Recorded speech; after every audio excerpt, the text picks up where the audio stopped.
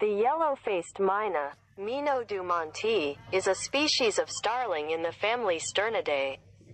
It is found in New Guinea and nearby smaller islands, where its natural habitat is subtropical or tropical moist lowland forests. The long-tailed myna was formerly included as a subspecies, one of the largest species of starling.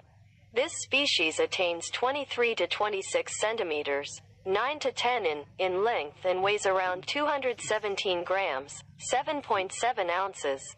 2. They have dark plumage with a metallic luster and bright orange facial markings and beak. These birds are social and omnivorous. Their diet consists of fruit and insects for which they forage high in the canopy. They are common birds with a wide range and the International Union for Conservation of Nature has assessed their conservation status as being of least concern. It was named after Charles Dumont. The yellow-faced myna grows to a length of between 23 and 26 centimeters, 9 and 10 in, and is one of the largest species of starling. The head has short black feathers glossed bluish purple on the forehead and at the base of the upper mandible, but most of the head is bare yellowish orange skin. This forms a wide patch around and behind the eye and includes a bib on the chin and the sides of the throat. The neck, central throat and mantle are black glossed with purple while the back, wings, breast and belly are black glossed with green. The rump is white, the lower belly is golden yellow and the undertail covers are white. The short, squarish tail is black. The iris is usually yellow, but in some parts of New Guinea may be brown. The bill and legs are yellow. This mina is endemic to New Guinea, as well as being present on the mainland. Its range extends to many of the smaller offshore islands. It is common over much of its range at altitudes of up to about 800 meters, 2,600 feet, and even higher in parts of Papua New Guinea. It is not present on the southeastern coast of the mainland, however. Its typical habitats include rainforests, forest fringes, partially cut areas, secondary growth, and gallery forests. And it is sometimes present in savanna areas. M. Dumonti is sometimes seen in small groups but is more often found in pairs. It occasionally forms larger flocks and communal roosts in tall trees have been described, containing over 200 birds. It is a noisy bird, emitting a variety of nasal, growling, and croaking calls with a sometimes human-like conversational quality. It often perches in an elevated position, calling loudly. It has a quick wing beat and a direct flight.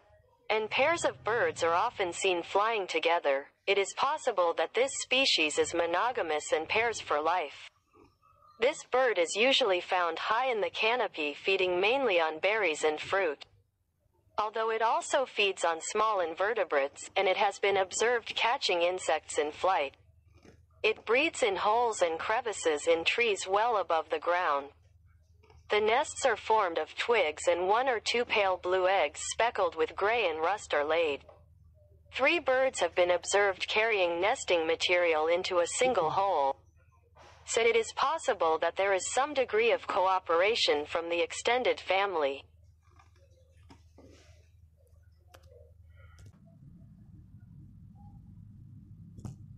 El mina de cara amarilla, Mino dumonti, es una especie de estornino de la familia Esturnidae. Se encuentra en Nueva Guinea y las islas cercanas más pequeñas, donde su hábitat natural son los bosques húmedos subtropicales o tropicales de tierras bajas. El mina de cola larga se incluía anteriormente como una subespecie, una de las especies más grandes de estornino. Esta especie alcanza de 23 a 26 centímetros, 9 a 10 pulgadas, de largo y pesa alrededor de 217 gramos, 7,7 onzas. 2. Tienen plumaje oscuro con un brillo metálico y marcas faciales y pico de color naranja brillante. Estas aves son sociales y omnívoras. Su dieta consiste en frutas e insectos por los que se alimentan en lo alto del dosel. Son aves comunes con una amplia gama. Y la Unión Internacional para la Conservación de la Naturaleza ha evaluado su estado de conservación como de preocupación menor. Recibió su nombre de Charles Dumont. El mina de cara amarilla crece hasta una longitud de entre 23 y 26 centímetros, 9 y 10 in, y es una de las especies más grandes de estornino. La cabeza tiene plumas negras cortas lustradas de color púrpura azulado en la frente y en la base de la mandíbula superior. Pero la mayor parte de la cabeza es piel desnuda de color naranja amarillento. Esto forma un parche ancho alrededor y detrás del ojo e incluye un babero en la barbilla y los lados de la garganta. El cuello, el centro de la garganta y el manto son de color negro con brillo de púrpura, mientras que la espalda, las alas, el pecho y el vientre son de color negro con brillo de verde. La rabadilla es blanca. La parte inferior del vientre es de color amarillo dorado y las coberteras inferiores de la cola son blancas. La cola corta y cuadrada es negra. El iris suele ser amarillo. Pero en algunas partes de Nueva Guinea puede ser marrón. El pico y las patas son amarillos. Este mina es endémico de Nueva Guinea. Además de estar presente en el continente. Su área de distribución se extiende a muchas de las islas más pequeñas de la costa. Es común en gran parte de su área de distribución en altitudes de hasta unos 800 metros, 2.600 pies, e incluso más altas en partes de Papúa Nueva Guinea. Sin embargo, no está presente en la costa sureste del continente.